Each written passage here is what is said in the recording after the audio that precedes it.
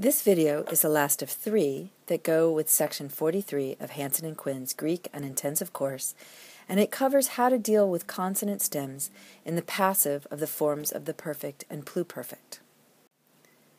You can refer to Hansen and Quinn pages 122 to 124 for their coverage of the material, which they have in the appendix on all those pages. So you remember how, a couple of videos ago, I was so delighted at how easy perfect indicative passive is, since you just slap those primary person markers on the clean little stem of the fifth principal part. And that works just great on many of the verbs we've met. Paideo, fifth principal part, pep paidelmai. Pauo, fifth principal part, pepalmai. Thuo, fifth principal part, tethumai. They all work great because when you chop off the my ending, the stem remain the stem remaining ends with a vowel. But other verbs, like didasco, fifth principal part dididagmai, thopto, fifth principal part tethamai, kaleo, fifth principal part kekeleosmai, look different when you chop off their endings. Each of those now has a stem that ends with a consonant. So the problem is how do you have a stem that ends with one of those consonant sounds and smash it up against an ending that starts with one of these consonant sounds? The problem is there in the pluperfect indicative passive too, and the perfect infinitive passive. All of these words would be unpronounceable or really ugly to a classical Athenian's ear if we did nothing to make the smash up between consonants a little smoother. There are a couple of ways for Greek students to go about solving the problem of consonant stems. The first is just to memorize each verb's paradigms in the perfect passive system, everything that comes from the fifth principal part. The other way, the way that helped me, is to think about what you know about how Greek consonants work and learn the patterns that they follow when they meet each other. That's the way we're going to proceed now. There's going to be a lot of jargon, but what you really need to know is how to spell the words. So here are the three verbs I mentioned as example troublemakers. Here are the perfect indicative passive endings we'll have to deal with, and the pluperfect ones, and here's the perfect passive infinitive ending. The first thing to notice is that you already know how to deal with the first person singular of the perfect, since that's the fifth principal part, which means you also know what to do with the other endings that start with mu, first person singular pluperfect too, and first person plural both perfect and pluperfect. The next thing to know is that for the third person plural in both tenses, the two consonants nu and tau at the beginning of the ending are just too much to smush up against other consonants, and so Greek never combines them with consonant stems. There will be a way to say they have been taught or they had been buried, but you need participles and the verb to be, and we're not going to rush into that. So third plural is easy too because you ignore it. What's left are the endings that start with the sigma or sigma theta and the endings that start with tau. So all we really have to do is figure out how to combine the consonant stems with those endings. Now, before you get too freaked out, remember, especially if you say your endings aloud, you'll always know what person and number you're looking at since the my, psi, tai, and metha will always be evident in the endings of the perfect, and the main sa, ta, and metha will always be clear in the pluperfect. Even the second plural and infinitive forms will announce themselves, since those thetas will not go away. Let's look more closely at each of the examples. We can categorize them and learn their patterns by taking note of the consonant right before the my. I'm going to remind you of the jargon you ran into when you first learned the alphabet and how the Greek alphabet has a set of related consonants based on the part of the mouth you form the sound in. The didagmai's fifth principal part ends with a gamma, which is in the category of palatal consonants. It's part of the group of consonants whose sounds you make by pressing your tongue on your upper palate kappa, gamma, chi, xi. When you conjugate the perfect passive with consonant stems that end in gamma, you'll be needing these letters. Tethemi's fifth principal part ends with a mu, which hides the fact that the stem of this verb and others like it has a labial consonant like pi or phi at the end. Labials are part of the group of consonants whose sounds you make by pressing your lips together pi, beta, phi, and psi. When you conjugate the perfect passive system with consonant stems that end in mu, you'll be needing these letters. Kekelelsmai's fifth principal part ends in a sigma, which is related but not quite in the category of dental consonants. It's part of the group of consonants whose sounds you make by pressing your tongue against your teeth tau, delta, theta, and sigma. When you conjugate the perfect passive with consonant stems that end in sigma, you'll be needing these letters. Keeping in mind that I'm no linguist, notice that these first consonants are simple, voiceless ones. The next ones Add a bit of a, a, sound from the vocal cords to the same formation in the mouth, and so they are voiced. Next, we call these ones we call aspirated because they had a puff of air behind the sound. We may pronounce them differently than that now, but that breathing in the sound matters to how these consonants behave in combination with other letters. These last three are the letters that result when you combine one of the previous letters with sigma. They're double consonants that I'm just going to call sigmified. You can review this, all of these terms, on pages 5 and 6 of Hansen and Quinn. Okay, enough with the jargon. Let's start with the palatals like didagmai and like ergmai and peprogmai. You can recognize them by seeing that gamma in the fifth principal part. Here are all the endings that we're worried about, but remember that we don't have to worry about these or these. So let's start with these. If we just smash the endings onto those gammas, you'd get these supposed endings. But the gamma and the sigma don't stay that way. Instead, they combine to form the signified C with the rest of the ending behind it. Now let's look at the endings that start with sigma and theta. The second plural perfect indicative passive would be this unpronounceable combination of letters. In combining all three, the sigma stops being a factor and the aspirated theta infects the gamma and turns it into a chi, and so we get the ending ktha.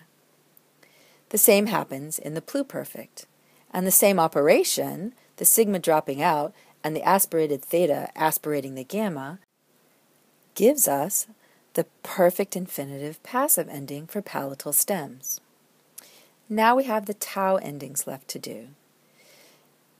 Instead of this awkward ending, the gamma changes to the voiceless palatal kappa, which is much easier to say with the tai ending, and with the ta ending in the pluperfect. Now, with the labials like tethemi and pepemi from pempo and gegrami from grapho and beblami from blopto, you can hear the labial in the other principal parts for all of them. And you can recognize them in the fifth principal part, partly by seeing that mu. Here are all the endings we're worried about, and remember we don't have to worry about these. So let's start with the second singulars.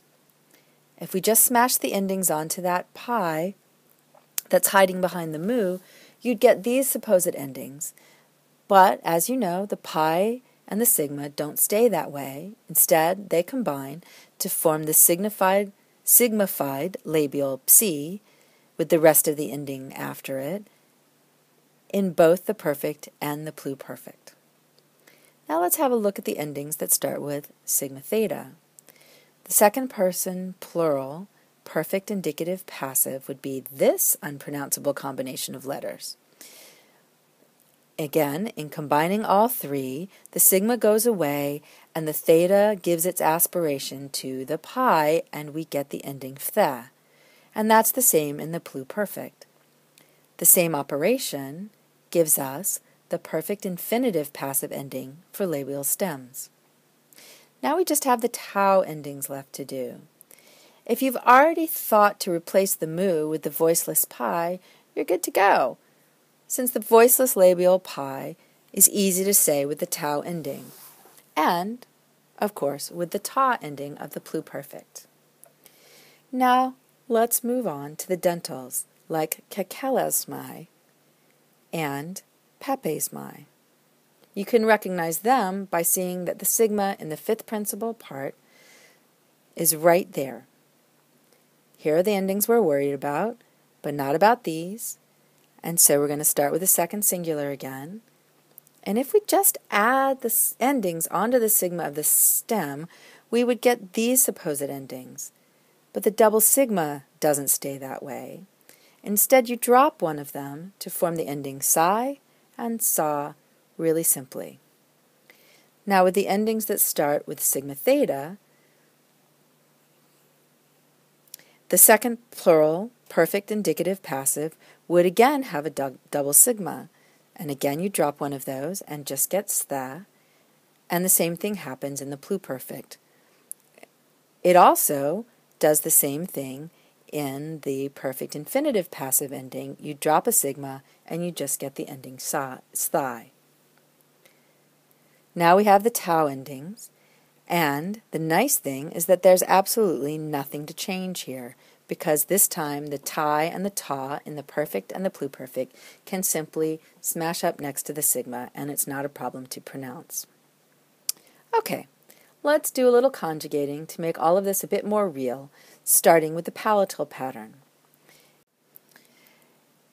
In the perfect indicative passive, you need a stem, so let's use peprogmai from prato, the fifth principal part from prato, and then the stem is peprog. Then we need endings, which is easy in the first person singular and the first person plural. In the second singular, we do our transformation and get the ending psi. In the third singular, we do our transformation on the stem and get ktai. In the second plural, we do the transformation and we get ktha. And we don't worry about the third person plural. We have recessive accent that we put in.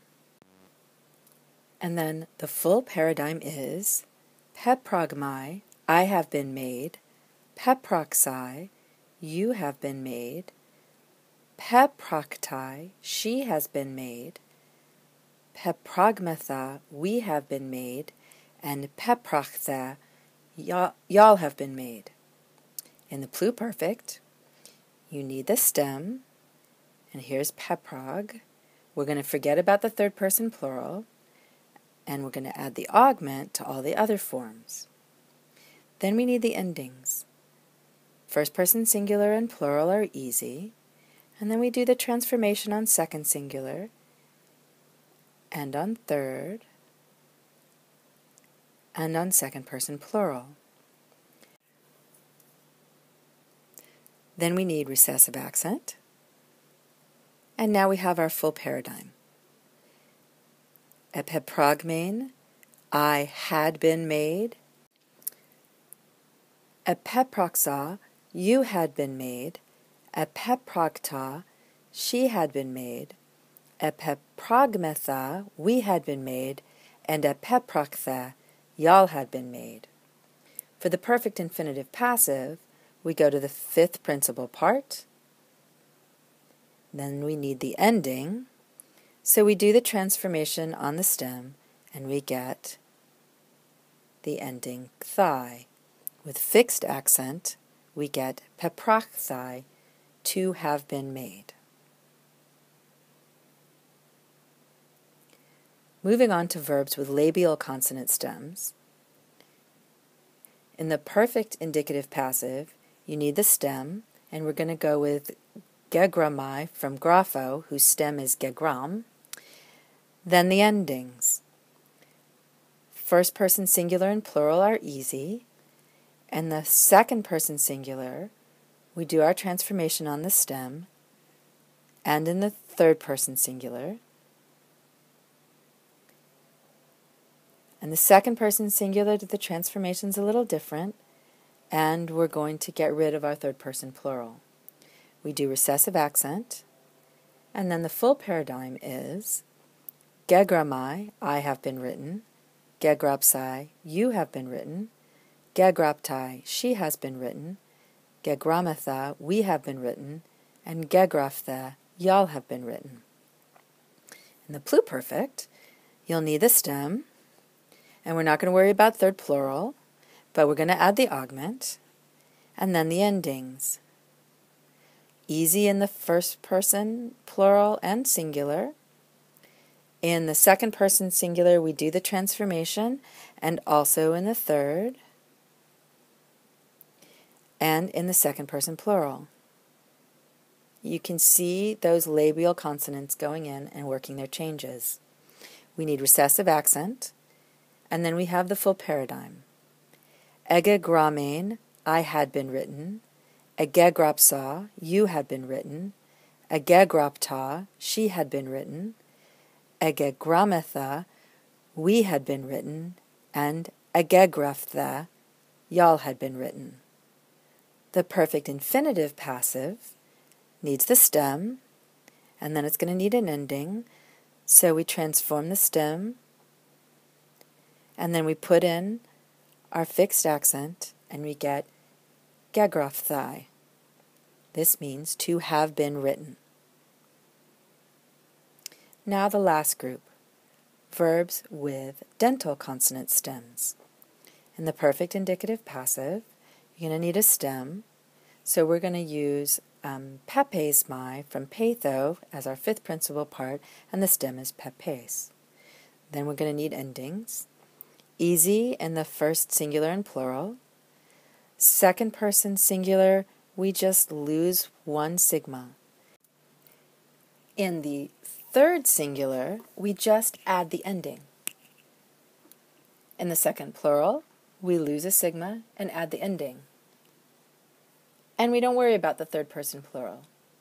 We use recessive accent, which we're going to put in here, and then we have the full paradigm. Pepesmai, I have been persuaded. Pepesai, you have been persuaded. Pepestai, she has been persuaded. Pepesmetha, we have been persuaded, and pepestha, y'all have been persuaded. In the pluperfect, we need the stem again, and we're not going to bother with the third person plural when we put the augment on all the other forms, and then the endings. First, the easy first person singular and first person plural. Second person singular, drop a sigma and add the ending. Third person singular, just add the ending. Second person plural, drop the sigma and add the ending. And there we have all of the spellings. We're going to have to add recessive accent. And now we have the full paradigm. So, epipesmain, I had been persuaded. Epepesa, you had been persuaded. Epepesta, she had been persuaded. Epipesmetha, we had been persuaded. And epepestha, y'all had been persuaded. For the perfect infinitive passive, we go to the fifth, fifth principal part to get the stem. We drop the sigma to put the ending on. And then we add fixed accent on the second to last syllable in this case a circumflex. So it becomes pepesthai, to have been persuaded.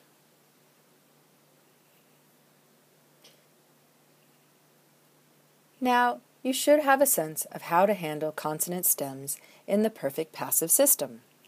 Remember, you'll always be able to recognize person and number, even if some of the consonants change a bit, and you're ready for drills and translation.